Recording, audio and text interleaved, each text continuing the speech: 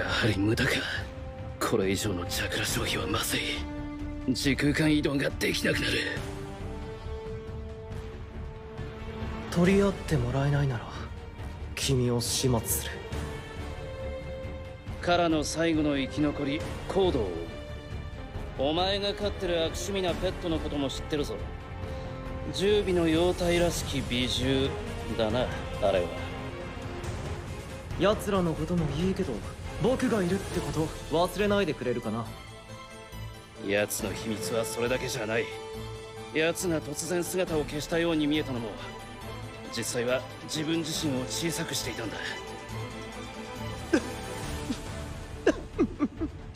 何を言い出すかと思えばそんなクソみたいな提案をするためにわざわざ出てきたってのかい？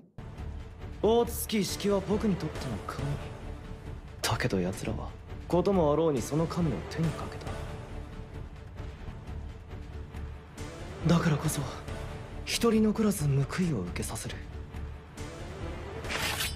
ようなら済んだ。自分の程度が忠告しておいてやろう。